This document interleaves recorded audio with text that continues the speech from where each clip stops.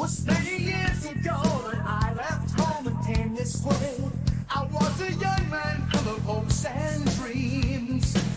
But now it seems to me that all is lost and nothing gained. Sometimes